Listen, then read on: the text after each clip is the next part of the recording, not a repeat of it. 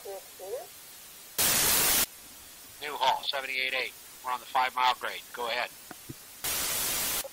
78A, we have a reported brandishing of a weapon 15 minutes ago. A red 64 Pontiac. Cal license Ocean Sam, yellow, 805. That's OFY 805. Southbound on Highway 99 from Gorman area. The driver threatened another driver with a revolver.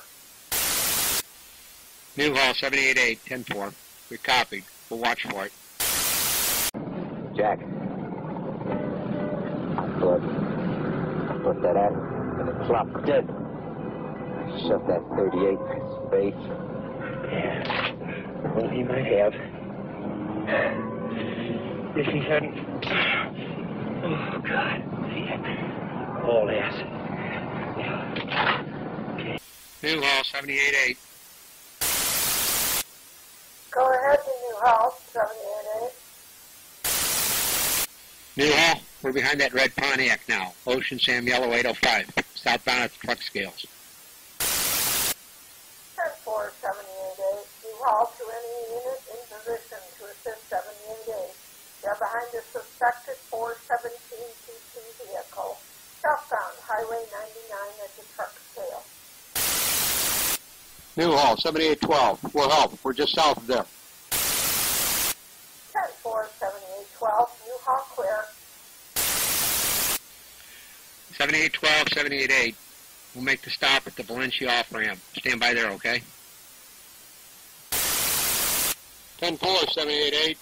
7812 standing by at Valencia off. Cops. The old punk must have turned us in. Jesus Christ. Goddamn guns we got in this thing. Yeah, stop us bust us all the way back to the goddamn joint. Don't take off the freeway. See if they follow us. Hey, 7812. Pontiac's turning off on Henry Mayo Drive, now going right on Old 99. We're stopping it at the Standard Station by Jay's Restaurant. 10 4, 788. We'll be there in a minute. These guys are great. Let's take them. All right, mister. Put your hands on the roof.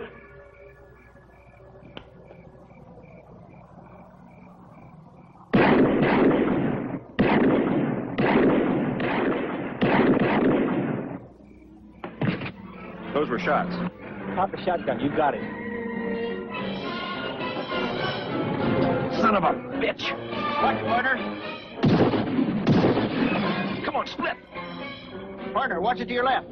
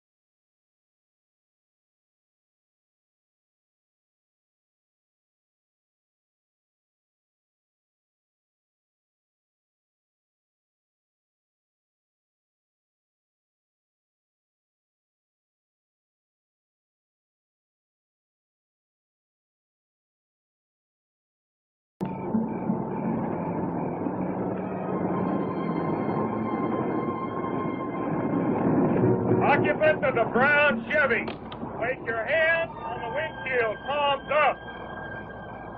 Do it.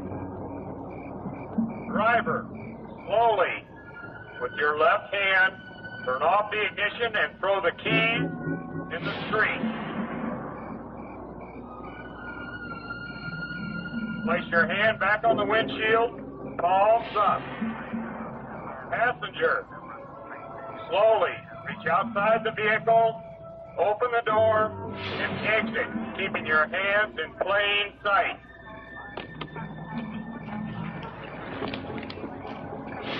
Four seventeen waistband. Don't make a move for that gun. Place your hands on top of your head and interlace your fingers. Slowly walk towards my partner.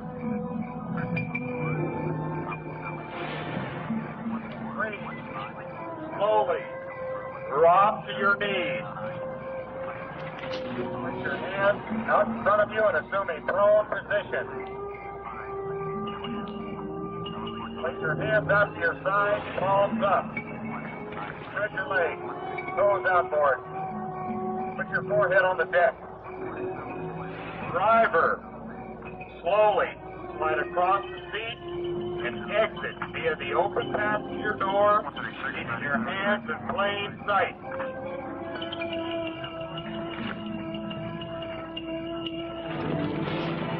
Breathe. Place your hands on top of your head, interlace your fingers. Slowly walk towards my partner.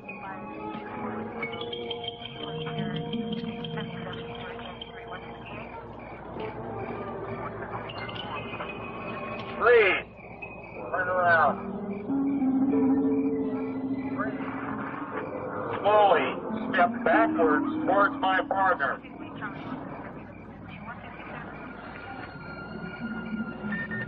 Breathe. Heel to the ground. Taking Chuck.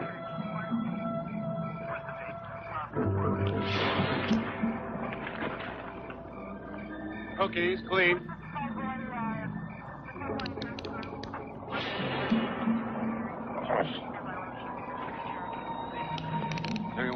Everyone else in the car? Anybody boy. I wanted to find out. If there is someone in there, you're going to be the first to get it. Hey,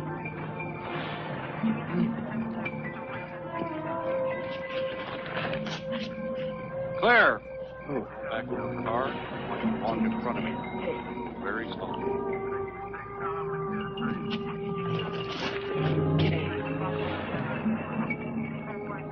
Passenger, place the palm of your hands and the small of your back. Palms out. Freeze.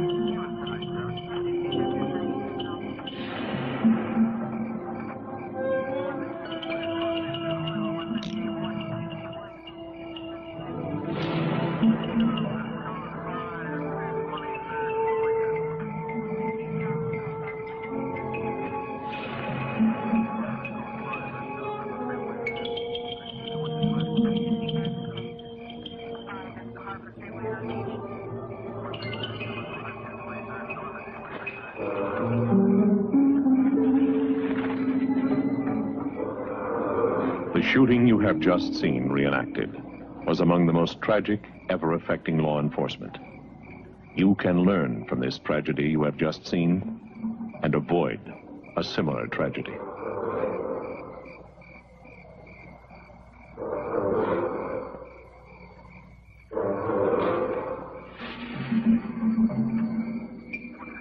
when four California Highway Patrol officers from Southern California were shot and killed in a matter of minutes. In their time of need, a bystander came to their aid, actually fired one of the fallen officer's weapons at the killers. He barely escaped with his own life, as did the other CHP officers who arrived at that scene that horrible day. With us, one of those officers and that civilian bystander here to tell us about the Newhall incident, which changed law enforcement forever. Gentlemen, uh, Sergeant Harry Ingold of the California Highway Patrol, now retired, 36 years on the force. Thanks for joining us. And Gary Kness, whose uh, heroism has not diminished over time. The two officers, initial officers on that night, it was at night, officers Frago and Gore, heard of a incident of a motorist brandishing a firearm at another motorist. Uh, they made the stop. It was in a restaurant parking lot off of what is now Magic Mar Mountain Parkway. Uh, pick it up from there. What happened? They made the stop and then approached the car, which they had backup coming probably less than a minute away. They chose not to wait for the backup. They approached the car. Uh, Frago on the right with a shotgun in the air, Gore on the left. They got the driver out, which was Davis, had him put his hands against the uh, top of the car. Bobby Davis. Uh, uh, and um, as Frago walked up on the right side of the car, Twining threw the door open, spun out, fired two rounds, killing Frago instantly. This caused Officer Gore to spin, fire a round, which gave Davis enough time to pull a gun out of his uh, waistband, fire two rounds, and kill Officer Gore. Now, Twining and Davis are the are the killers here in this case. Yes. You now have two officers down, and a backup unit shows up. Yes. What Seconds happens? later, the backup unit come come in, and they immediately took gunfire, and uh, it was just they lost the gun battle. Officers uh, Pence, Pence, the driver, Alleyn, the passenger. passenger, uh, they opened the door and they were returning weapons fire. They had a shotgun, service revolver, Yes. but they, They lost the gun battle. while they're down, uh, Mr. Kness, that's when you arrived. You were on your way to work. What did you see? Uh, I I could see two highway patrol cars. To me, they were just black and whites. Right. And but I could see two officers exchanging fire with somebody. My first impression, it was a movie, but didn't take but a minute to realize this is real gunfire. I saw the two officers, one in back of each uh, patrol car. Uh, the closest one to me, I could tell he got hit because he reacted and he fell out from behind the car. And then I could see an individual still shooting at him. I jumped out of my car, ran up, trying to grab him and pull him back underneath the patrol car. Uh, now, are they firing at you at this point? Yeah. Then what do you do? I, the shotgun was right there. I picked it up, raised it over the trunk, click. It was empty. I pumped it, click again. I ducked down behind the patrol car. At this point, I saw the service revolver. I grabbed it up, came into a two handed combat position. Former Marine, so you knew what you were doing. Yeah, a little. And uh, I cocked it. The individual was just a few feet in front of the patrol car, and I cranked off a round. Uh, And you hit him. yeah, and he he spun around, and I clicked it again, but it was empty. And then you decided to. At that point, I ducked down, and just as I'm ducking down, I can hear a boom like a cannon going off. And I turn, and the uh, last officer, he was kneeling, and uh, Trying to reload. yeah, and the uh, assailant just, I got you now, you dumb SOB, and cranked it That's into what he said. back of his head. That was your testimony in court in the prosecution's case. Uh, at that point, you fled. I, I could hear sirens, and I could see headlights and, and red lights flashing coming off the freeway and down the old road. And so I ran, not, not maybe 10 steps or so, into a drainage ditch. And one of those sirens, Sergeant, was you uh, coming in. Did you? And you took weapons fire as you arrived. Yes, we didn't know it at the time. We found a bullet hole in the car in front of me uh, the next day. Now, Twining ended up uh, taking hostages at a farmhouse, correct? Somehow the information got out that he was there. So the LA County Sheriff's uh, uh, SWAT team surrounded the house, uh, gave him every opportunity to get out. They talked to him on the telephone. He released the hostages at one He point. finally did, yes. And then took his own And then life. he said on the telephone, he said, I'm going to pop it. Those were his words. In other words, he's going to commit suicide, which he did. We know that uh, Twining is dead now, but Yes. Davis, uh, he was. Where was he captured? He was, uh, the sheriffs uh, were coming down a dirt road and they met him nose to nose, took him out, took him into custody. He's right now still at Pelican Bay. Yes. He was sentenced to death, but that was commuted by the California Supreme Court when they ruled the death penalty was cruel and unusual. That's usual, correct, So he's, yes. he's still there. Mr. Kness, you were in the ditch waiting for the uh, other police officers to arrive, and or the highway patrol officers. When did you come out of that, and when did you realize that what had just happened? I mean, it, my guess is a lot happened so quickly. This was over a matter of minutes. Yeah. You didn't really have much time to think about what you did. No. Uh, when the uh, first car coming down the old road, the first highway patrol car, uh, I'm staring down the barrel of a shotgun. That's when I started to really get nervous and upset because Right. I'm blood covered and I still had the service revolver. I don't know why, but I had kept it. You were afraid that the highway They would think I was one of these Right, right. weirdos. Well, and do you look back on that day? Do you ask yourself why you did what you did? no, I don't. I don't like to dwell on it too much. Sergeant, let me ask you, why is it important that uh, we remember this? Well, four young men, officers, gave their lives protecting the resident state of California that night. Um, it was the single worst tragedy, still is today, in the history of the California Highway Patrol. And that's 80 years to, uh, this year.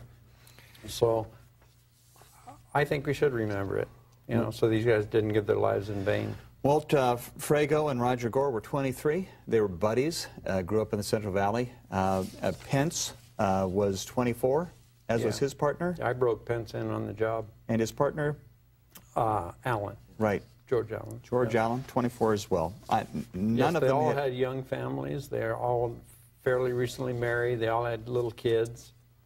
In And- fact, I've talked to some of those uh, uh, their siblings today, and um, they're very interested. They never knew their father, and uh, they would ask me questions about the shooting. Well, God bless them. Uh, thank you very much for joining us.